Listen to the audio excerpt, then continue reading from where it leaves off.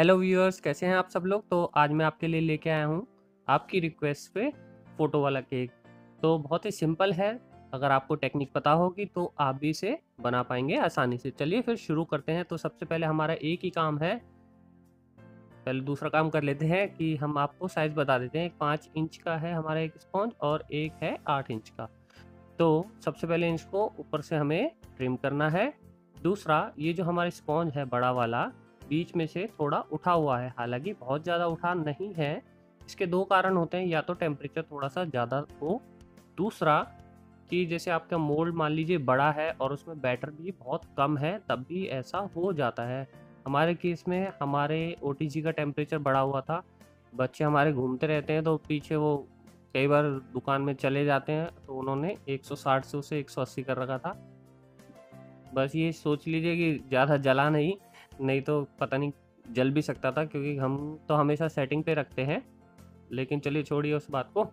अभी तो हमारा स्पॉन्ज ठीक है और ये फ्लेवर हमें बनाना है पाइन जो सबसे ऊपर वाला पार्ट था स्पॉन्ज का, वो हमने बीच में रख दिया है। तो क्रीम के केक में इतनी प्रॉब्लम नहीं होती, आपका स्पॉन्ज बेक होना चाहिए।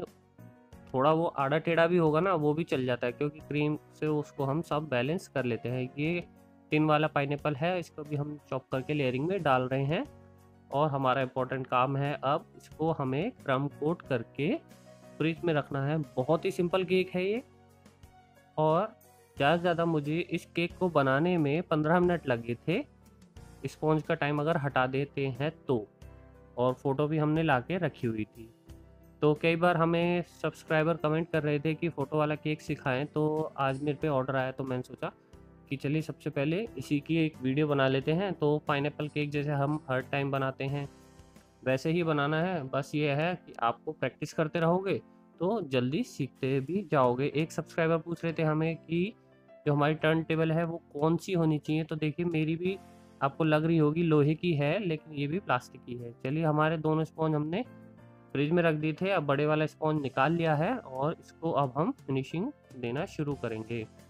वनीला क्रीम हमने लगानी है, एसेंस हम डालते नहीं है क्रीम में, क्योंकि उससे कई बार क्या होता है, टेस्ट भी ख़राब होने के चांसेस रहते हैं तो हम इसे कोई भी फ्लेवर हो तो इसके लिए फ्लेवर हम बस बीच में यूज़ करते हैं, साइड में अपना वनीला क्रीम नॉर्मल ही लगाते हैं। तो पैलेट नाइफ की हेल्प से इसको प्लेन कर लेंगे और ये देख लीजिए हमारा स्क्रैपर कैसा है। इस पैटर्न में जो कॉम है ये मतलब कॉम की शेप में है। तो स्क्रैपर बहुत तरह के आते हैं तो डिज़ाइन आप कोई सा भी सेलेक्ट कर सकते हैं, आपकी मर्ज़ी है।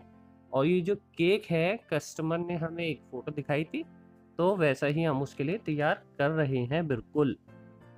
और बोर्ड भी हमने बढ़ा लिया है केक बोर्ड और लास्ट टाइम एक सब्सक्राइबर ने हमने पूछा था डॉक्टर साहब से, कि आप अपने केक बोर्ड को कैसे साफ़ करते हो? तो ये हमारा बोर्ड साफ़ करने का तरीका है, आप डस्टर लें पैलेट नाइफ में उसको लगाएँ। और उसके बाद उससे साफ़ कर लें। तो छोटू केक को भी अपने हम तैयार कर लेते हैं।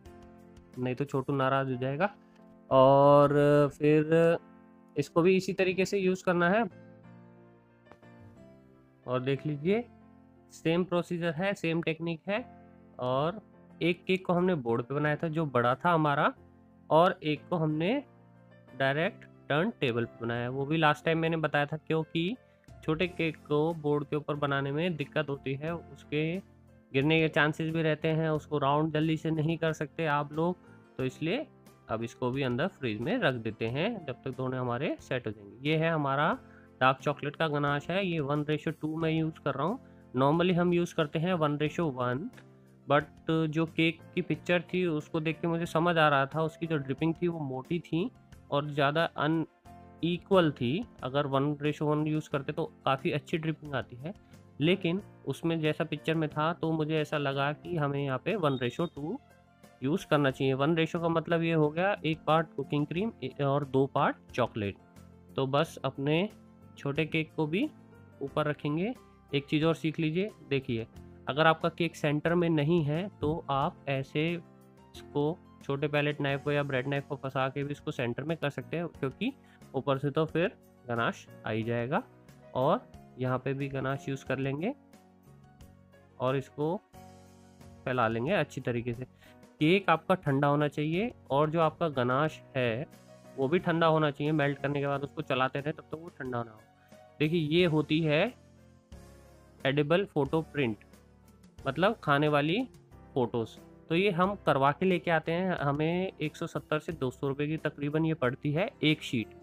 तो हमें तो लगवानी थी छोटे वाले केक के ऊपर तो इसलिए हमने इसमें दो निकलवा ली है। नॉर्मली हम एक किलो से नीचे फ़ोटो प्रिंट का कोई भी ऑर्डर नहीं लेते हैं। लेकिन उन्होंने पैसे हमें पूरे दिए थे कस्टमर ने और उन्हें छोटा ही प्रिंट चाहिए था तो ये हमने निकलवा ली है। इसको आप आराम से एक दो दिन तक रख सकते हैं, आपको बाहर ही रखना है। और ये देखिए, अब आपका फ़ोटो भी छूट गया है। कई बार ये फ़ोटो छूटता नहीं है बरसातों के टाइम में तो ऐसे कट करने के बाद इस फ़ोटो को आप थोड़ी देर फ्रीज़र में रखेंगे तो ये आराम से निकल जाएगा। और ये हमने ऊपर से चिपका दी है। देखिए, कोई मुश्किल काम नहीं है। आपको आइडिया होना चाहिए आपकी फ़ोटो कितनी बड़ी है, आपका केक इस पर आएगा कि नहीं आएगा। और आपको जब बनाते रहते हैं डेली केक तो आइडिया लग जाता है। अब जब ये केक फ्रिज में जाएगा तो इसको सबसे पहले हमें बॉक्स में रखना है, फिर इसके बाद हम इसको फ्रिज में रखेंगे, क्योंकि कई बार क्या होता है, पानी की ड्रिपिंग्स आ जाती हैं तो उससे ये फ़ोटो ख़राब हो जाता है। वैसे ये ख़राब नहीं होता। पहले वेफर शीट पे फ़ोटो प्रिंट होते थे, आजकल ये शुगर शीट होती हैं तो उस पर तो ये चेरी लगा देंगे हम थोड़ा। चेरी का जो ऊपर का हिस्सा होता ना, देखिए ये थोड़ा काला होता है, इसको भी आप सीज़र से काटेंगे, तब लगाएँगे। तो डिज़ाइन जो था हमारे पास, हमने उस हिसाब से लगा दिया है, और उसके बाद लगाएँगे। अब हम यहाँ थोड़े से चोको चिप।